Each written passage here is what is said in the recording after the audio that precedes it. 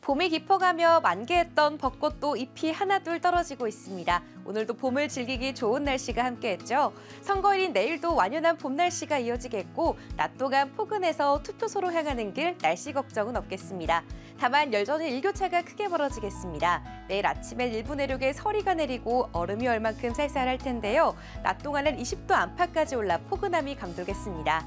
대기는 점점 더 건조해지고 있습니다. 전국에 산불 위기경보, 경계 단계가 내려졌습니다. 특히 중부지방에서는 건조특보가 나날이 확대되고 있습니다. 서울을 비롯한 수도권과 충북, 영서 일부 지역에 건조주의보가 발효 중입니다. 여기에 바람도 다소 강하게 불어서 대형 화재가 날 위험성이 커지고 있습니다. 영남 해안 지역엔 강풍주의보도 내려졌습니다. 계속해서 화재 사고에 각별한 주의가 필요합니다.